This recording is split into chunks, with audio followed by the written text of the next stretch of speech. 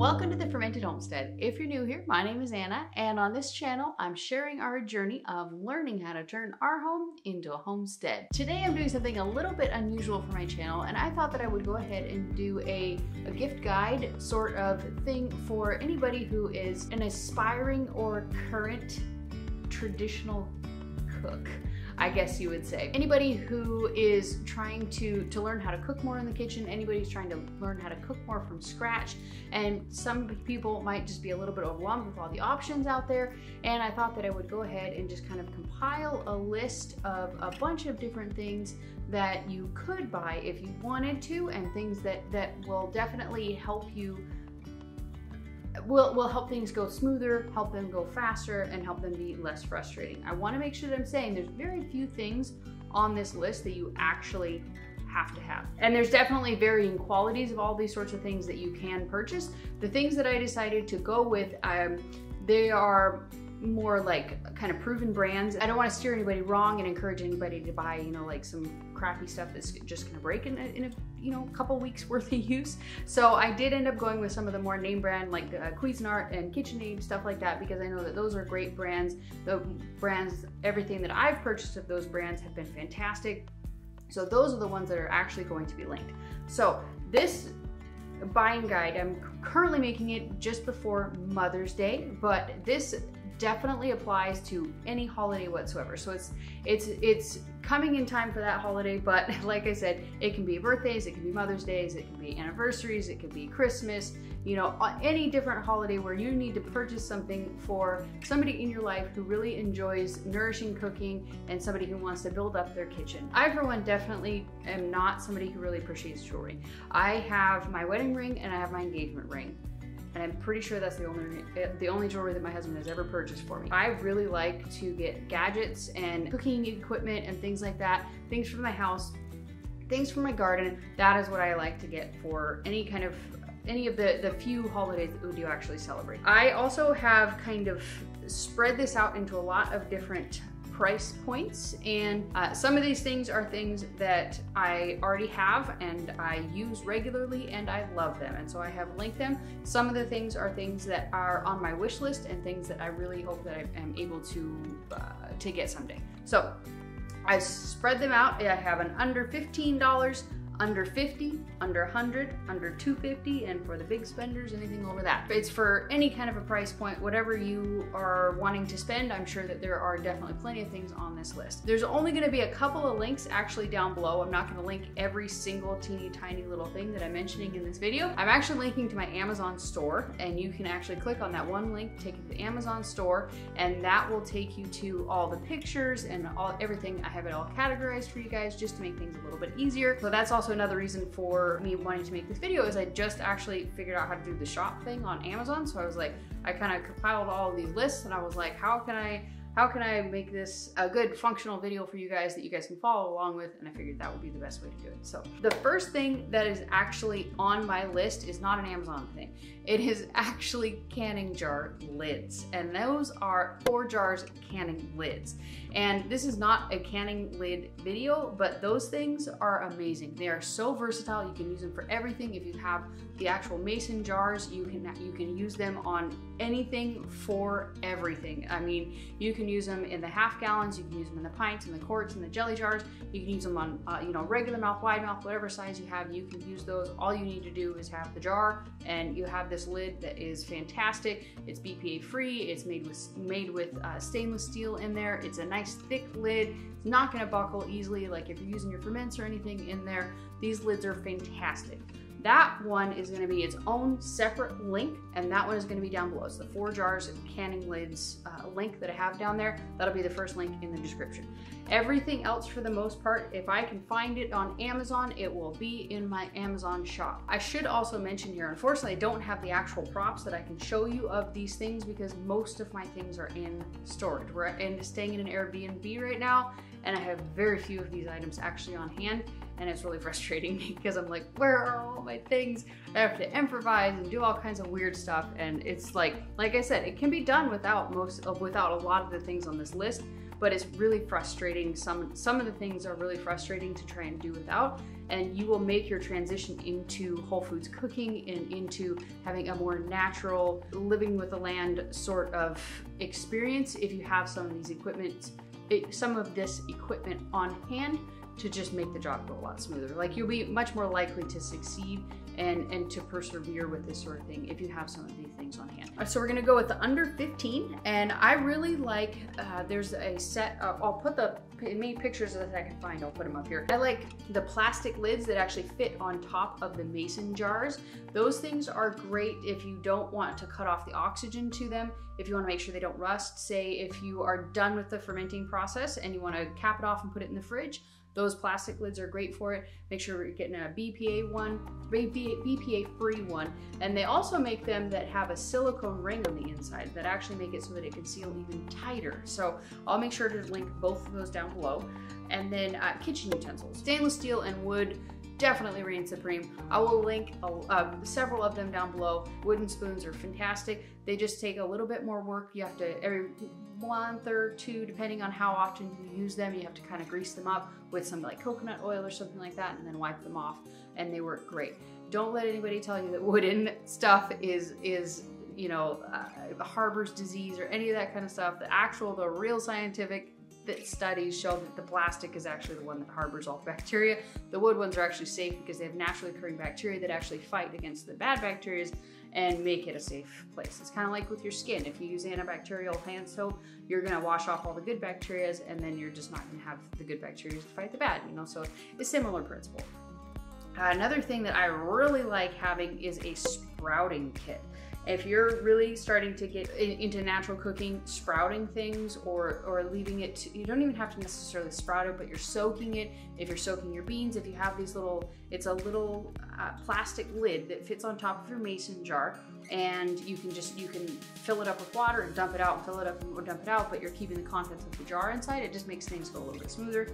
Uh, mixing bowls are specifically stainless steel or glass mixing bowls are fantastic to have. You really want to avoid plastic if you're going towards a more natural kitchen. Another thing in the along the lines of the stainless steel is stainless steel measuring cups and measuring spoons. Uh, rolling pins are another great low cost option.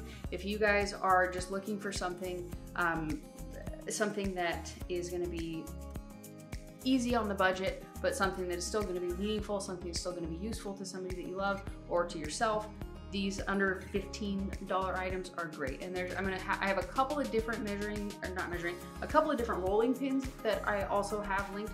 And one of them is, just, is a very standard, it's a very normal, it's the common one you find in your grandma's kitchen and it is fantastic.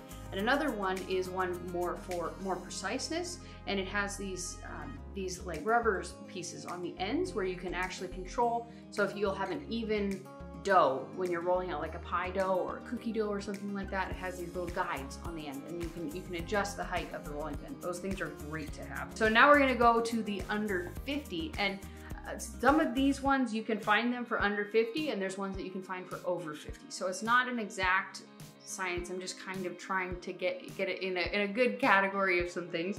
Uh, the first thing would be a crock pot like a slow cooker. You don't have to get the Crock-Pot brand. That's just what I've always gotten. And I've always purchased mine at Costco. Feel free to buy yours at Costco. I think it's a great deal and they have a good warranty on it. I love buying, you know, any kind of kitchen gadgets at Costco. They're great to get there. But if you don't have an access to Costco or you just don't want to, uh, it's I have a I found one that is pretty similar. I tried to find the one that was as similar as possible to one that I got at Costco. It's great. It has a nice glass lid. It has a little digital um, digital display, and it has latching lid, so you can actually take it with you. And it actually makes it so that it kind of it cooks a little bit better. Like it it'll hold the heat in a bit more. So. Uh, let me see. Next one is a wand mixer. There's actually two that I own.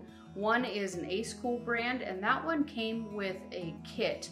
It has like a whisk on it. It has a uh, milk frother, food processor. It comes with like a cup that you can mix stuff up in. I like that one a lot. It has like 12 12 speeds to it.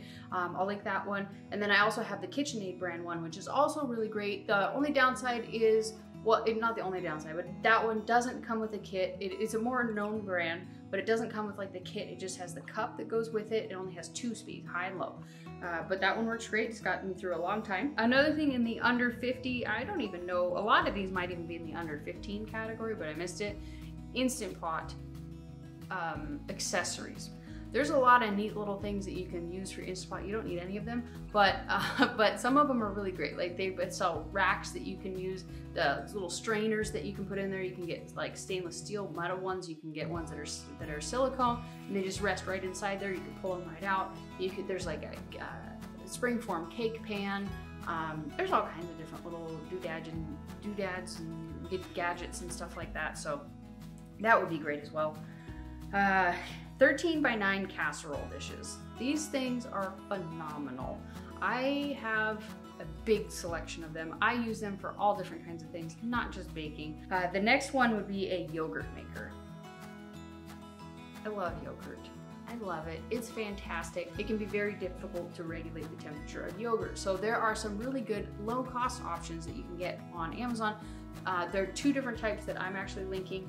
One is it makes it in individual little jars, and it's just you put these jars inside of the yogurt maker. You pour like a um, almost like sous vide style. You just pour the, the water in the bottom and, and that kind of, that steams it.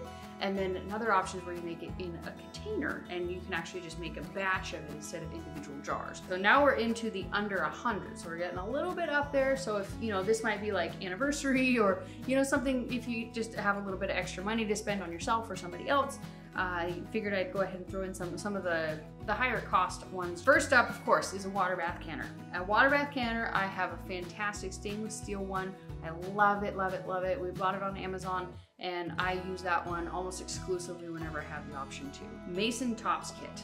If you are if you like fermenting or if the person you're buying for likes fermenting, MasonTops kits are fantastic. I have used them for so many years. I have had almost no failures. I don't think I've had any failures that were not directly my fault, uh, just user error, but I think MasonTops kits are fantastic. They make the fermentation process go so much smoother and I just love them. And I have a couple of other ones as well that are linked that I have purchased and I like them as well. There's lots of different uh, price points on those sorts of things. Like the MasonTops kit is, it's actually under 50. It's, I think it's $45 or something like that. And they have a couple of other ones that are a bit simpler, you know, not, not like the name brand ones. So they're gonna be a little bit uh, on the less expensive side. And I'll make sure to put as many of those as I think is reasonable. See, a Dutch oven. Eight quart is overkill for most things. If you, unless you have a large family, the six quart is where it's at. You can cook almost anything in a six quart. And I learned that the hard way. I bought the eight quart because I was like, oh great, it's bigger. It'll be more practical. No, it's not. You just don't want to use it. It's too heavy. I mean, if you have a big family, you might need that. But we don't have a big family, so I almost never use it. I use it if I'm making large canning batches and I just want to use a pretty pan because it's pretty. That's about it.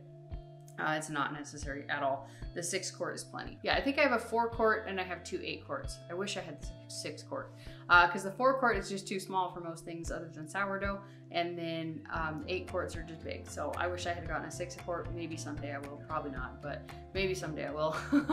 but I have, uh, I have an eight quart Lodge and I have an eight quart um, Tramontina and a four quart Tramontina. I got it in a kit. It came as a set at Costco. It was actually really inexpensive. So uh, that was a great, if you find that at Costco, it's a great deal. Next up is something that I wish I had. It is a steam canner. I hate water bath canning. Not gonna lie, I hate it. Hate it, hate it, hate it, hate it, hate it, hate it. I'll almost always avoid it. I don't mind it in the pint jars. Because when it comes to the quart jars, I never want to do it in the quart jars. I can't stand it. It's so messy. And I pots are just never tall enough. So anyways, I really want to get a steam canner someday. So that's definitely on my list of things I want to get. Uh, stock pots are super important, super important when you are learning how to cook. All kinds of soups, stocks, broths, when you're making roasts and veggies and, and sauces, maybe not sauces so much, but you get the point. There are so many different uses and you don't, like, one is not enough. Like if you have one stock pot, great. But like you need like at least three and I found the five quart, the eight quart, and at least a 15 quart. Um, you need them for various different types of things, especially if you do lots of uh, larger batch things, which is great to do when you're learning how to cook these sorts of things. Because if you make a large batch of something mm, and you can freeze it or can it, it's great to do it that way because it's less overwhelming. When you're cooking one large batch, it might take like 10% longer to make, make that large batch, but you don't have to do it every single time you want to make it. So batch cooking is a great way to do it. And if you have large enough stock pots, you can do that. Last thing I would say is a food processor. And you can get a food processor anywhere from $20 up to $1,000 really. I mean, but really like a hundred bucks, you're looking at, you're gonna get a pretty good uh, Cuisinart brand, you know, something, a, a, good brand one you can get for like a hundred dollars and it brand new. And you can find almost all this stuff also at a thrift store. If you're, if you love to thrift, like you can find all this stuff there. Uh, like I said, I'm not trying to just say buy my link spend everything at, at, my link, you know, all that kind of stuff. But um, a lot of the things that I've accumulated are things that are, are um, things that I think are good products and things that I think that you guys will as well. But it's also because you can have a visual representation of everything. You can go through and you can click on all the different categories and stuff like that and figure out kind of what you want or what you want to buy for somebody else. Now we're into a little bit higher up. It's under 250 and I only put two things in this category. The first one is a Presto pressure canner. There's two different types of Presto pressure canners and one is a smaller one where you can just, a single stack the jars and that one's a little bit less overwhelming. It's uh, smaller, it's easier to store. And the other one is a bit larger. I think it's 21 quart or 23 quart, I'm not sure. I have that one actually sitting right over there. And um, I have that one linked for you guys as well. Also an air fryer. Air fryers also, they vary quite widely. I'm linked to the one that, that we have. We bought it at Costco and we love it. Um, it is one that's, it's kind of like a toaster oven style. That I wish that we had gotten, I, I like this one. It's great, it's fantastic, it works wonders. But I also wish that we could get one that that was the more the counter, not the countertop style, but it's kind of like it has like the pull out kind of drawer and you can just like dump a pile of stuff in and put it back in. Uh, I think that one would be fantastic to have instead or as well, but we ended up going with the toaster oven kind and it works great. We love it. It cooks a, a steak, you know, it cooks like an inch and a half inch steak from raw in, or from, not from raw, obviously it's raw, uh, from frozen in like 10 minutes. Love it. It is amazing. I miss it. It's in my storage unit right now but I love it. Uh, but there's just, it has its own use. And um, I think it would be nice probably to have both, but I would probably go with the less expensive version. Um, I, I, will do a little bit of research and try and come up with one that is kind of agreed on is, is a pretty good one because I don't have experience with that sort of one. So the one that I do link, I'm looking into, I think the Instant Pot one looks pretty good. I love the Instant Pot brand. So that one definitely, how on earth did I miss that? on my list. Did I really miss that? I missed Instant Pot. Instant Pot. Oh my gosh, game changer for this sort of thing. I can't believe I didn't put an Instant Pot on there. I just got one the other day and I love this thing. I just cooked a chicken in there and it cooked it perfectly nice and juicy and delicious and it cooked it and gave me some broth in about 40 minutes. And love this thing. It's fantastic. You can also make yogurt in it. You can cook things. It's like a one pot wonder. You can saute everything in it and then just close it up and pressure cook it. I love the Instant Pot. It is great if you, you can also do delay, delay cooking on it. You can do timed cooking. You can do, you can adjust all different types of things and options, all different kinds of buttons and gadgets and gizmos on there to do all different sorts of things. I love the Instant Pot. I had another one, but it's been in storage and I got this one because it's a little bit larger I would say if you're going with the Instant Pot, the 8 quart is definitely something that I think is worth it. I know that with, with the Dutch oven, the smaller one is a little better, but I think with the Instant Pot, the larger one is a little bit better because you're not losing out on any kind of space. It's not really that much larger and it's certainly not much heavier, but you just, that extra two quarts, it makes you be able to cook, you know, roasts from frozen. You can cook uh, chickens from frozen. You can make larger batches of any kind of like yogurt or something like that in there. Uh, you can make large sauces like spaghetti, you know, whatever it may be. Instant Pot is great. And then there's five things over $250 that people who are looking into more of the nourishing tradition style of cooking, people are looking more to get you know, to cook things more at home and to do things more from scratch. These, these five things I feel are things that are very beneficial not required in any way, shape, or form. But like I said, they do definitely help the process go along smoother. The first one is the Vitamix. I've wanted to have a Vitamix for a very long time. I bought one once and I couldn't justify it in my mind, and so I actually ended up returning it. And I, I, ever since then, I wish that I never returned it. I wish that I had kept it. There's so many different uses, so many different things I wanted to do with it, and I just I never had a high-powered blender where I could get a nice smooth sauce, or my my my um, my you know sauces would be chunky. I couldn't grind the you know the nuts properly in it, or uh, making a smoothie. It was really chunky and grainy kind of. So I always wished that I had kept it, and so um, we actually just decided to invest in one, and we actually purchased one from Costco. They were having a screaming deal. It was like a one day sale, and we actually got like this. I think it was a 7500. I think it was. And um, so we don't have it yet. I, we, we had to order it online, but I'm I, it's been a long time since I've been as excited to get something as I have to get a Vitamix. Show you guys some things that you can do with it, but you can also just get a regular blender. We, I have an Oster glass blender. That is what I've used for a very long time. I had a different Oster glass blender. My husband accidentally broke it and he went and got replaced that one before I got home from work. He's so sweet about it. Um, so I love that one. It's great. I would definitely recommend getting a glass one or a stainless steel one if it's possible. Um, but it's sometimes it's not always possible. So at the very least, just make sure that you don't put any hot liquids in a plastic and make sure that it is BPA free if possible. Uh, next one is a KitchenAid stand mixer. I actually have two. Um, one I inherited from my mother when she passed away, and I love that one, and that is the one that I use all the time. That one is older than I am. And that is my favorite, that is my preferred blender. I have another blender that I got when I was in, I once upon a time, I used to do pastry. I used to make, I used to be a cake decorator and um, so I had one back from those days. I bought it probably 10, 15 years ago. And that one, I don't know why. I just, I, I guess maybe it's just the memories of the, of the one that my mom had. I just always end up using the other one. so I have two, but I just, I don't often tend to use um, the other one.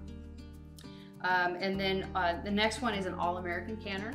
That one is not my preferred one. I honestly prefer the Presto, and I use the Presto almost exclusively. The only reason that I ever use my All-American is if I need to double stack quart jars. And it's just, it's so big and it's so clunky, but if you cook on an open flame, an All-American would be the, an intelligent decision to make, an intelligent investment to make. Because the Presto, the metal is much thinner and is much more likely to warp. But so it kind of depends on your cooking surface. If you're cooking on an open flame, you probably want to go look into the All-American, and if you're cooking on a glass top, you probably want to look into a Presto.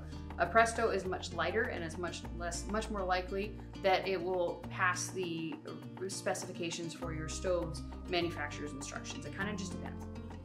Each, each thing has their own recommendation. Uh, let me see. Another thing is a um, it, it, doesn't have to be the, in the over 250, but uh, just a, a, dehydrator, a food dehydrator.